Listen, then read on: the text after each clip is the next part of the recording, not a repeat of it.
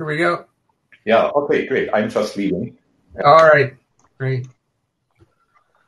Well, thank you all for uh, joining our session where we're going to talk about uh, smart cities and digital privacy. We have a super duper world class panel here of famous people uh, who are really shaping the, uh, the future. Uh, we have uh, Floyd Kephart, chairman of the Renaissance Group, Ro- Rosana Wong, uh, from the uh, uh, from Hong Kong, one of the leading smart city developers, and Mattias Bergström, uh, who uh, has developed, invented a new way to manage uh, smart cities that is m- not only more economical but more private. Um, this session is being recorded and will be distributed after the event. So the, the goal here is uh, we're going to uh, talk about the, the future opportunities and challenges cities. And really, our, our focus is going to be on how do we balance uh, privacy with the information needed to optimize. Because if we think about smart cities, the, the real benefit is on the uh, managing of the traffic in real time. So people are not wasting fuel uh, stuck at red lights also managing energy so that you know buildings aren't uh, turned on. Uh, but the challenge is with with all of this, there's a, there's a privacy issue and there's a cyber issue. Uh, you know, how do we make sure that all of these systems uh, kind of uh, work properly? So with that, I wanted to start with uh, Floyd Kephart. Floyd is a global investor. he has been looking at uh, smart cities as an investment vehicle and wanted to kind of start off with him and basically just look at uh, what the opportunity he sees for smart cities uh, as an investor, uh, but what are the also the challenges he's looking for in terms of profitability? Because one of the things uh, I've learned speaking to Floyd, and, and Floyd uh, has been a good teacher for me is he, he once told me that uh, the Renaissance Group, everything has to be a profit center. Uh, he said uh, in his projects, nothing is a is a cost center, and I think that's a kind of good model for smart cities where you have all of these components, and he's expecting each one of these components to kind of make money. So with that, Floyd would want some pieces of insight from you on you know what you see as the opportunity what you see as the challenge the need for profitability and also the need for privacy. Well thanks Junaid, and, and i appreciate being on the on the panel with uh, Pete, a lot of people who are smarter than i am. Um, the the issue is there is a change in business models that's taking place worldwide.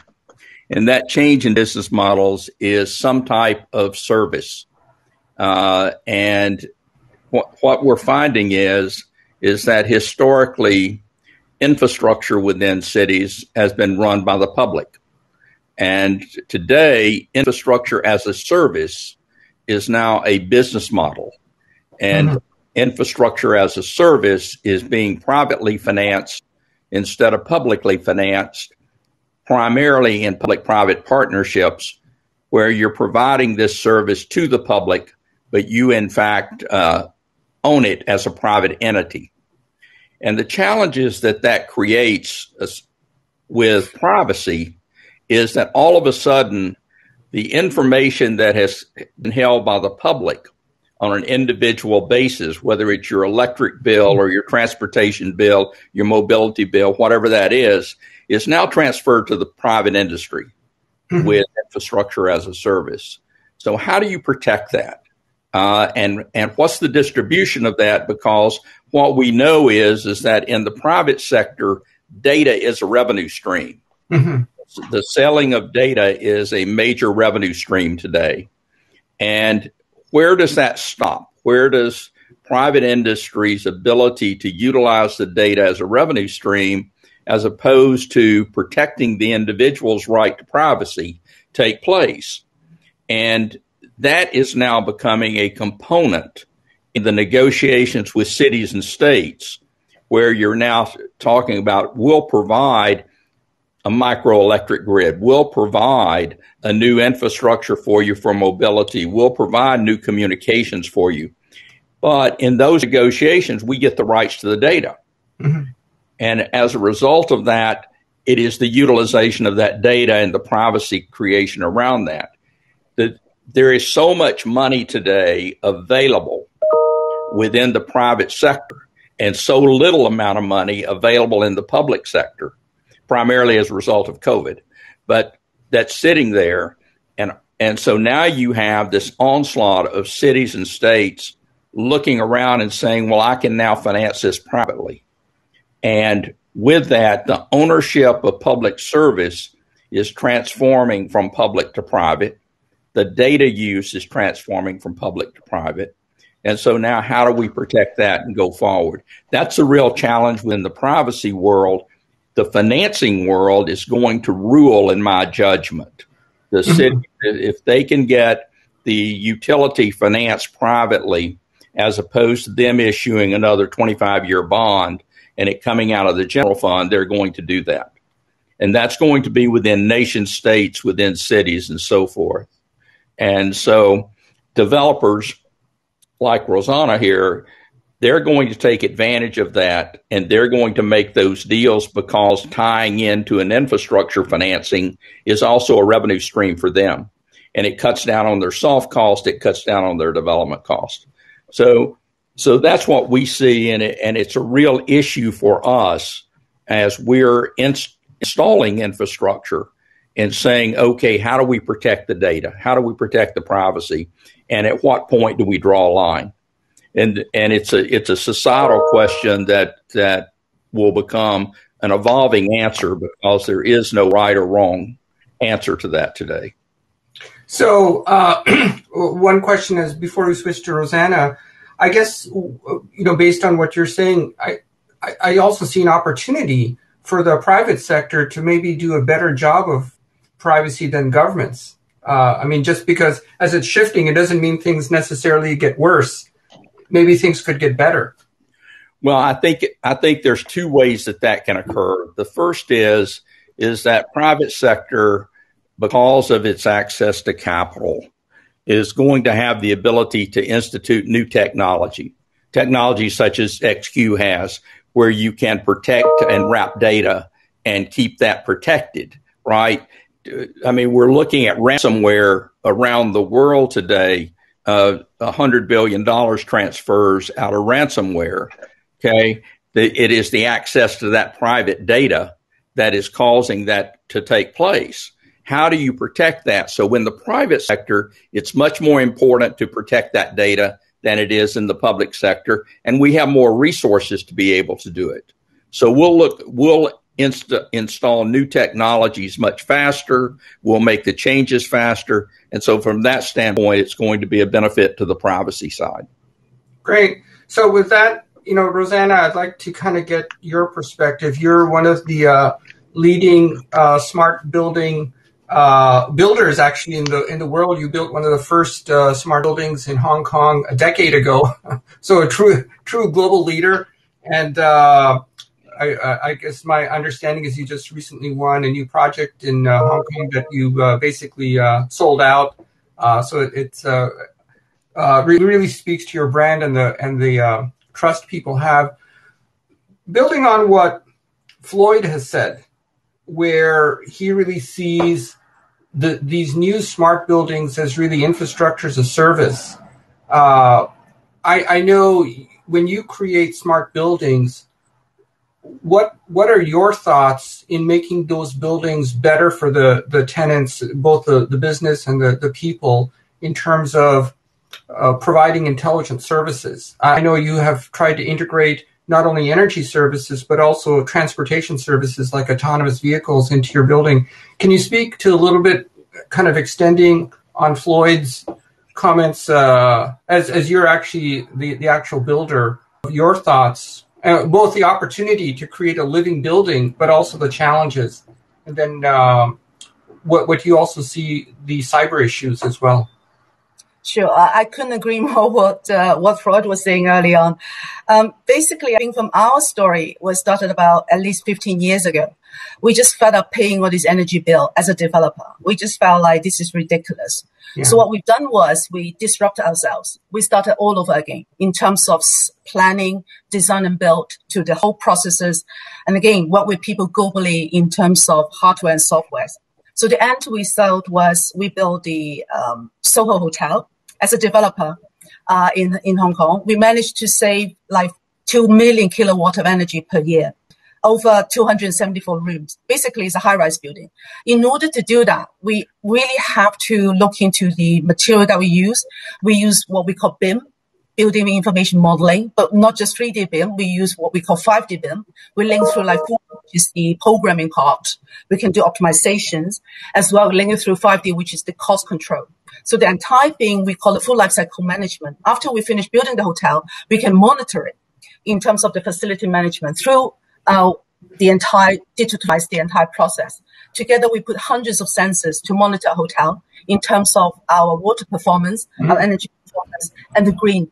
Because we want to recycle our rainwater in order to, well, through a filtration system, to actually go back to our greeneries within building itself. Imagine everything is like like building through boxes. So the entire things turn out to be quite uh, reasonable in a sense that we save over what 3.3 million Hong Kong dollars per year eight years without fail now. So that was then. So gradually we, we, um, because of that, we basically gained three extra companies. One is a hardware company, a very high coefficient hardware that we not only serve ourselves, but other people too. And then in terms of energy optimizations, we have our own algorithm, real-time monitoring, the entire thing. Again, we serve other people together with these BIM simulation solutions that we have. Again, we support open BIM, open source, open standard globally. So we, we, we really manage not just apply on the newly built development, but also in renovation. So one of our things that we've been doing for the last couple of years also renovate like existing uh, offices, uh, existing buildings. Again, we managed to transform over 70% of energy saving. So again, with the highest standard in terms of in the US, you call it LEED, we got platinum. And in terms of Hong Kong, we call it Hong Kong BEAM Plus. We have platinum in Singapore, we got green mark, we got platinum in China, we got three stars. We achieved three stars. So in other words, the entire thing is proof. And again, the ROI is 25% year on year. So I'm thinking it's no brainer that people should, should do it basically. So this is the one of the reasons why we turned that into business. So that is actually my core business at SEL. But the other things I've been doing was I think I started my own venture funds four years ago. And now we have about 12 startups under our belt. It's all smart city related solutions from planning to IoT devices, autonomous solutions, uh, infrastructure, so on and so forth. And our vision is actually help build a sustainable uh, smart city. And this is what we really wanted to do. And somehow we wrote our own group in and people really liked it. So we turned that into an actual business plan. We call it Place of Tomorrow. This is something that I work very closely to my heart, which I shared with Junaid early on that we won the very first mobility as a service contract uh, in Hong Kong Science Park. So basically, they got two um, or two autonomous solutions, uh, two shuttles from us. A host for eight people is level five. So basically, we go around the loop of our science park, people can just hop in, hop out, just book our, our through our apps. The, the entire thing will be monitored through a dashboard. So it's all real time, and this is what we have to do as a, as a service. But at the same time, we also do R and D as well with the local collaborators. We link it through 5G in different 5G service provider in order to advance what we do. So these ongoing things we do what we call V2V, V2X, and V2I linked through our infrastructure those are the solutions that we've been working on. But in terms of uh, building environment, we cracked uh, one of our highlight, which I'm really dying to share with all of you, is that our uh, what we call MIC, modular integrated construction. Globally, people call it DFMA, design for manufacturing assembly. Basically, we design everything through BIM and then use AI robotic to manufacture everything else. So we we increase our productivity. Uh, and again, a lot cheaper, cut down 50% of the labor cost, and it's a lot faster and the quality are far more better. So basically, uh, in order to push that into a highest level, we link through our 2D information through the RFID chip we implanted to our boxes, and then we color coded our BIM modeling, and then the entire quality control we use blockchain to look into the entire thing from manufacturing to construction site. So this is what we call a Bini platform. And again, we run beautifully. So this is something that we really try to advance what we do. This is some of the highlight that um, I like to share with all of you. Well, well, uh, you, you, know, so you know, it's kind of interesting as Floyd talked about the transition from the public sector to the private sector. You know, one of the questions was, you know, can the private sector do a better job? Certainly, from your perspective, the private sector is doing a way better job. You've integrated energy management and transportation uh, all into your project uh, as a service. And uh, as, as, you pointed out, if you're getting 25% return on investment, that's got to be the best deal on the planet. Uh, I, I was going to say that, Junaid. but this is I, something I, I, I, don't think you can get that uh, anywhere. So, uh, you know, with that, you know, I'd like to turn to uh, Mattias. Uh, Mattias is a kind of uh, famous person uh, around the world in Silicon Valley. Uh, he's developed a lot of technologies that we use today. So, you know, Mattias, you've kind of heard, you know, Floyd talk about this macro shift from public to private as I, I guess the, the investors have more faith in the private sector to manage these projects. And we've kind of heard from Roseanne, someone who's actually doing this, you know, with a kind of depth and uh, a kind of breadth in terms of scope that really is is uh, I've never seen before. And uh, I, you know, I have to give Rosana full credit. So one of the things we love your expertise and insight is how should all of this be managed so it is so privacy and cyber is built in, and also the profitability. Uh, with Rosana uh, seeking 25% returns, uh, the the infrastructure or the, the monetization has to kind of be built into it. So we just kind of love your thoughts on um, again from a technical perspective the opportunities and challenges that you think need to be solved. Well, I mean, we've started from maybe another approach when we started building for um, smart cities or smart installations, smart nations, is about the amount of data, right? So mm-hmm. if we just take an intersection, an intersection produces enormous amounts of data with traffic. Compared to a building, a building is quite easy in the amount of data load per day compared to an intersection or a city. So the goal became to cluster the computing on localized ways, right? Not having to move the data into a supercomputer somewhere to calculate it. This was first developed as a technique to weather with NOAA for doing weather predictions. So we could calculate certain amount of the predictions, transform the data to information already at the stations and then move them instead of moving everything um, to calculate the weather prediction. So the same model applies to smart cities. Mm-hmm. Um, on a building per se, you can work with centralized data, but the bigger it gets, the, the, more data it requires, the harder it becomes to manage it in that way. And of course, the profit opportunities are huge because with smart system, we can optimize in all different directions, but still keep the quality of life going.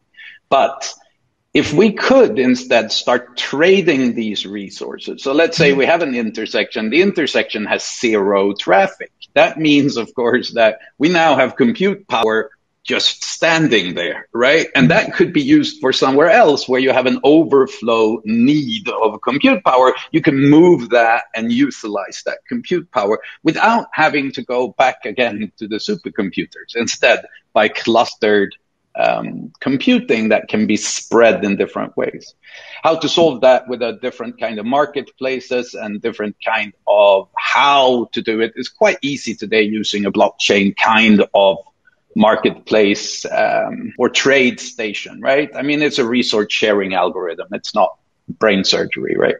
So it all comes down to scale and amount of data in the end, right? We have all these positive effects that we can extract from this data, but we do have um, the problem of the amounts. And the amounts is also what creates our security and privacy issues because the more data you have, the more data you have to move, the more data you have to manage, the harder it becomes. Instead, if you transform that data to information early and then use it as information, the information has value and you store it in a more valuable sense, right?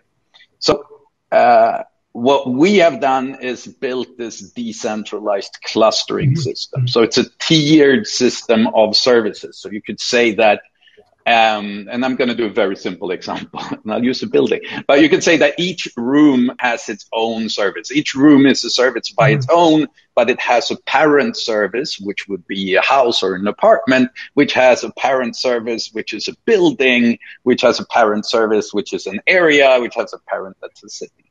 But all of these then in the building could be hundreds of units that mm-hmm. all contain computing power that can be spread around as needed, right? And of course, the management of this becomes more simple because it's decentralized. And we could talk about the quality of the data of sensors and how you can detect deviations in that and all of this, which becomes, which we say, autonomous out of this system. So one of the reasons this was developed, this tiered system, what's in reality because we're working on a moon mining project and we realized it was the only way to manage the robots. They needed to be autonomous and they needed to have some kind of tiered system and they had to be decentralized because we couldn't be sending information from Earth, right? So that, um, the model came out of that, even though it implements certain things from um, decentralized operating system like the Sprite operating system from 1967. But that's a different story. it's a very so old it, operating. So, so, based on your uh, concept of leveraging the compute as a resource, turning the smart city into a cloud, it seems one of the extensions is not only can compute power be sold but you're talking about apartments. The same architecture could also sell the apartment, right? So you could use the same uh, uh, marketplace to both sell compute, but actually the actual asset, uh, which is the uh, uh, apartments, could make themselves available on the resource marketplace. Through the you can decentralize you can decentralize the trading point of many things. So if we look at one project we are looking into is how do you decentralize loading and offloading ships in the port, mm-hmm. which is quite an interesting thing because even if a ship needs to offload, he cannot buy that service today, right? So he has wares that are going to go bad if he cannot offload this there's no way the harbors do not have, or the ports have no capability of letting him in before. He cannot trade. He cannot, well, he can probably exchange with some other ship if it's possible, but it's going to be a hassle with customs, right? So if you look at that as a trade possibility, they can trade the load and unload spots. Uh, then we get into quite an interesting thing. And that can happen decentralized. It doesn't need to be a brokerage service, right? You can do it over a decentralized platform. So that's one of the more interesting solutions for this, especially when it comes to uh, perishable goods. Because of course, if you're sitting there with a ship full of bananas, you really want to offload that, right? Before somebody who's sitting with cars, the cars will survive a week more, right? Great. So I'd, I'd like kind of open it up, and then for uh, those of you attending the session, feel free to ask a question on the chat. And we also have the ability to turn on the microphone if you wish to speak.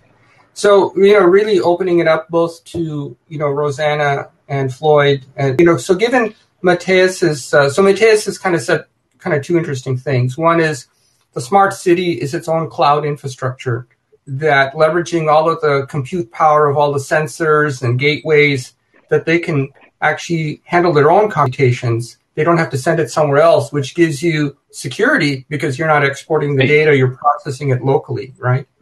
Maybe, but, maybe to add one more thing, you do not need the internet, which is quite yes. an important factor. You're removing risk because you, you don't need the internet. You can run it with only gateways to the internet, right? And then you can run your own protocol, whatever you want. You can run it on any protocol, basically, because you don't need to take the risk of being on the internet with such an infrastructure. Yeah, and and uh, given all those the uh, ransomware attacks, I think Floyd just mentioned uh, uh happening. Uh, certainly, the ransomware attacks are happening across the open internet. you know people connect and and uh, certainly a self-contained smart city smart building would be far more secure than the existing model where everything in the building is connecting to the internet where you're just kind of asking for trouble so i, I think a couple of things in Mattias's uh, thoughts i think are, are kind of important one this notion of the, the value of being self-sufficient i'm just paraphrasing him that the smart building or smart city is its own compute it doesn't need the internet. It doesn't need external resources. But the other interesting thing that Mattias brought is this notion that not only compute, but even the space itself can be tradable, right? The uh, so Floyd, I, I, know you, and and again, this is a kind of open. Uh, Rosana would Floyd, I, I know you have in your businesses looked at the opportunity to take a smart city and make it actually tradable within the city, everything from parking spots to apartments. Could you share some insight on, uh, as an investor, uh, what do you see or what do you want to see, what, what you think is a potential upside for that? Because I, I know this, uh, you, you've been a kind of thought leader in this space here in the United States and globally on this as the kind of new way to think about real estate, not as just a building, but as a community of assets. Well, yeah, I mean, to to a large degree, people look at things in a very isolated way. They see a building; it's a vertical structure, and they do not understand that it also has to be integrated within the community, and it has to have interoperability among all of the services that take place. And what Mattias has done is really fascinating from the standpoint that where you can isolate areas and com- and control those at the same time protect them, that becomes a valuable commodity to everybody within the community who's trying to share that information mm-hmm. or access that information. Uh, he's providing his own gateway. And whenever you can do that, then you can take away the risk factor from the actual operation, which is a huge thing.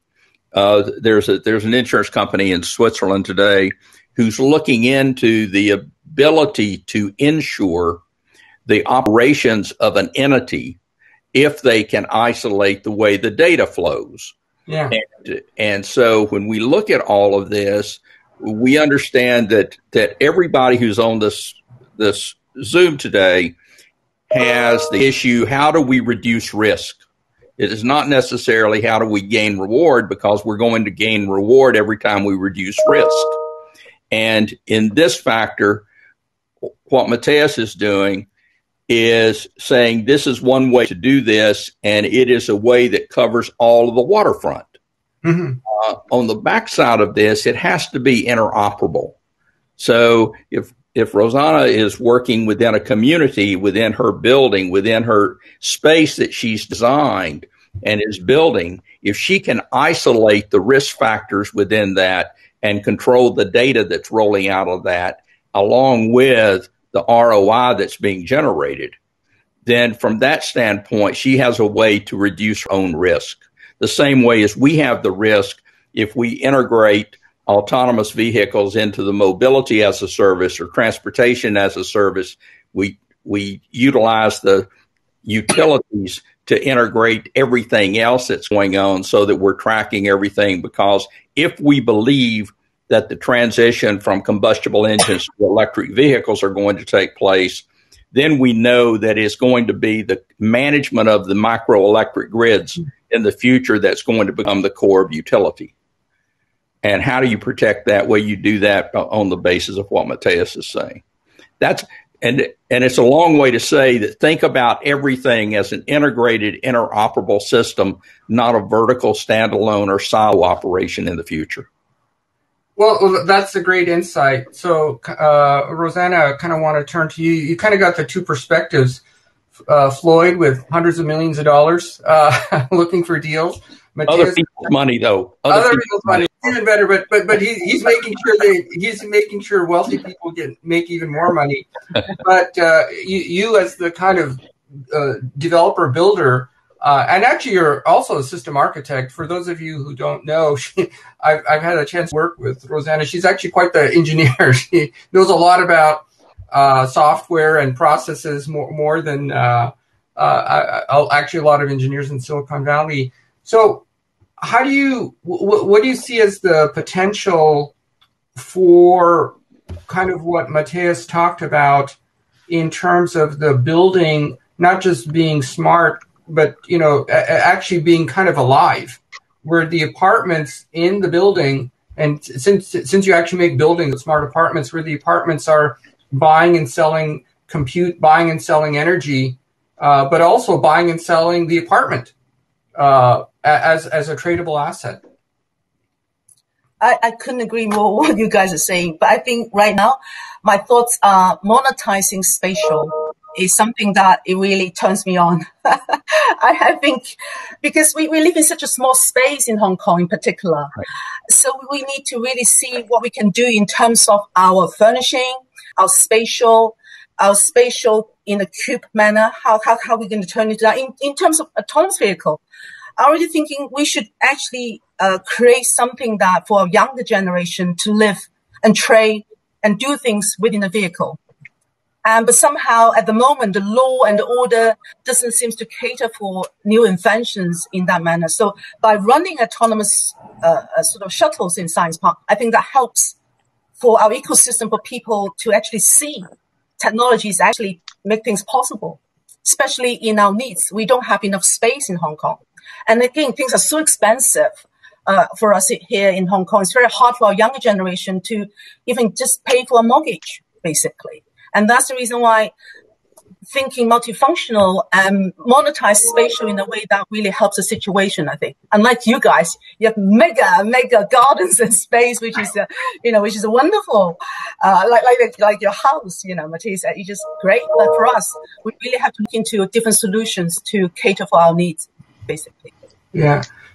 So, so uh, you know, kind of Mattias, um, seems everybody loves your ideas.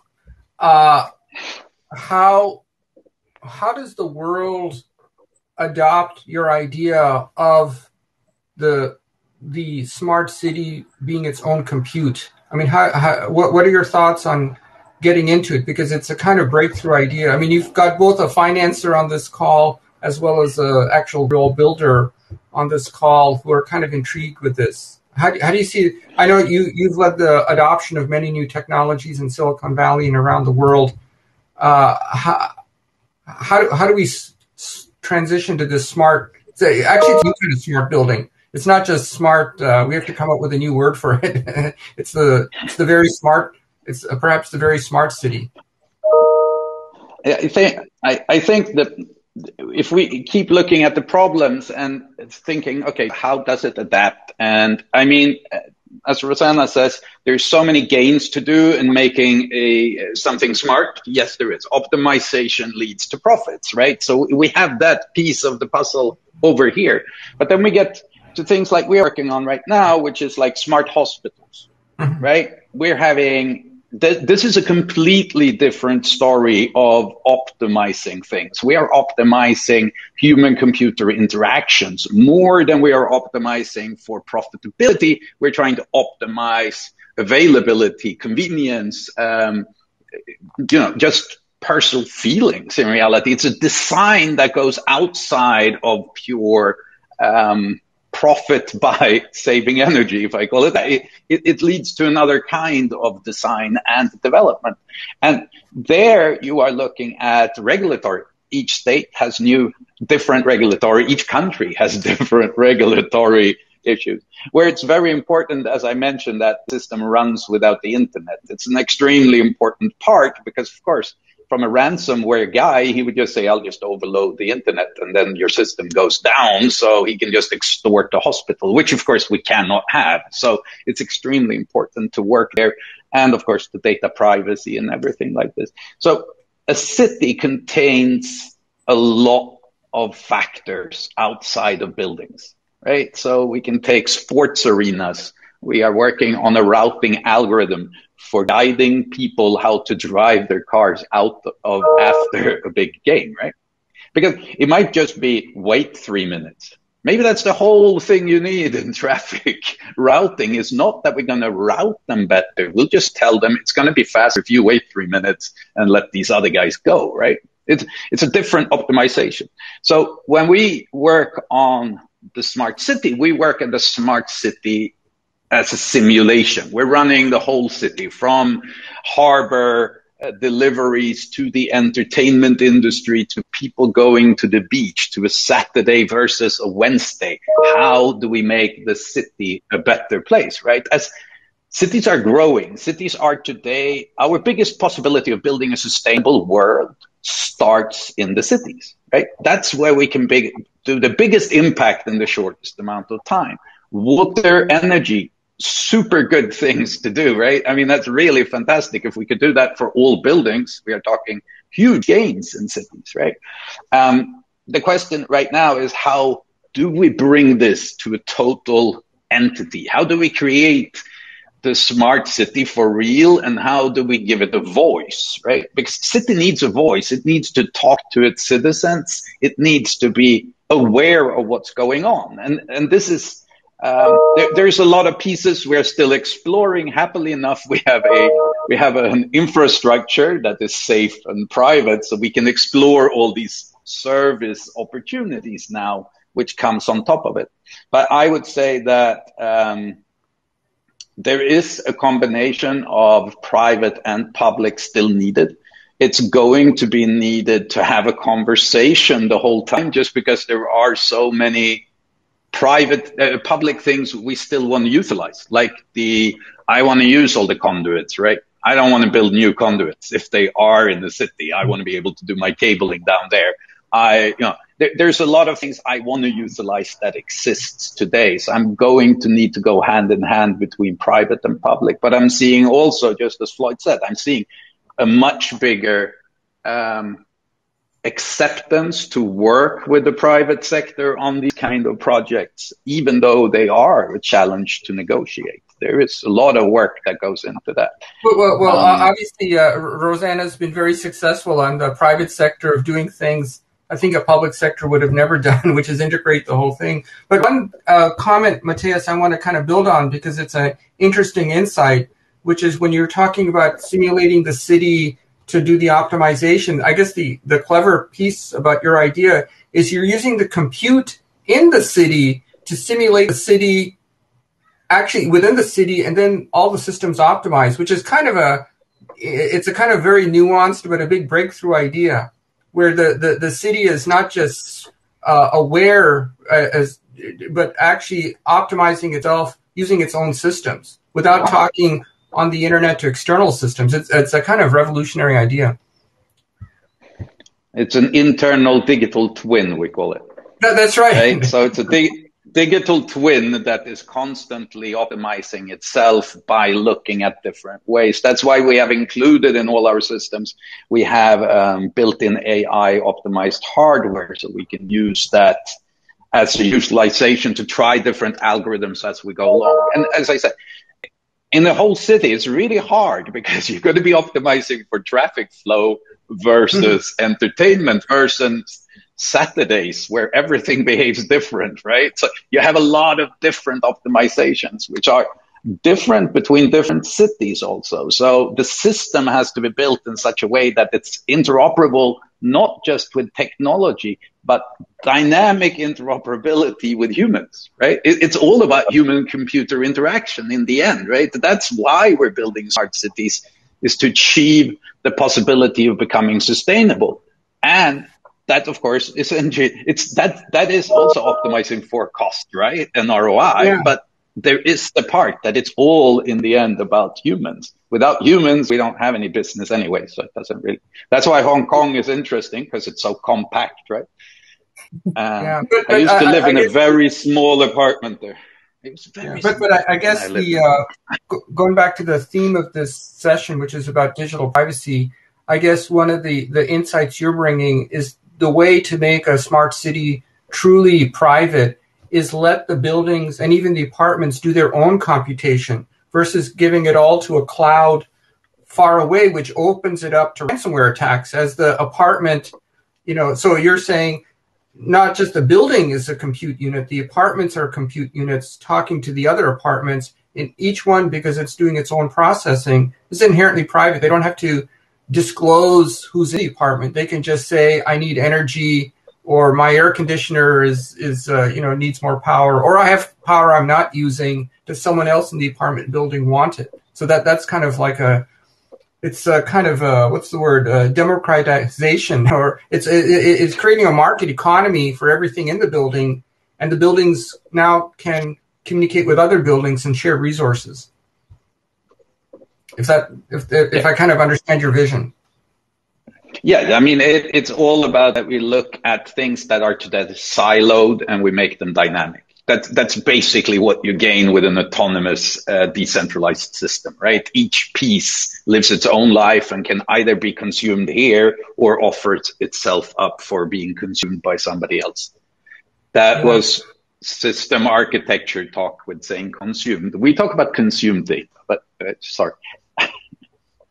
So, so Floyd, so what do you think about this approach that Mattias is talking about, where truly everything is a tradable asset? Uh, you know, the, the, the, the, power, the information, the, the, the, the building, the apartments, that they're all trading with each other. Is as an investor, what's your kind of like gut reaction to that? Well, I mean, I think that it's it's where we have to go as we have diminishing resources.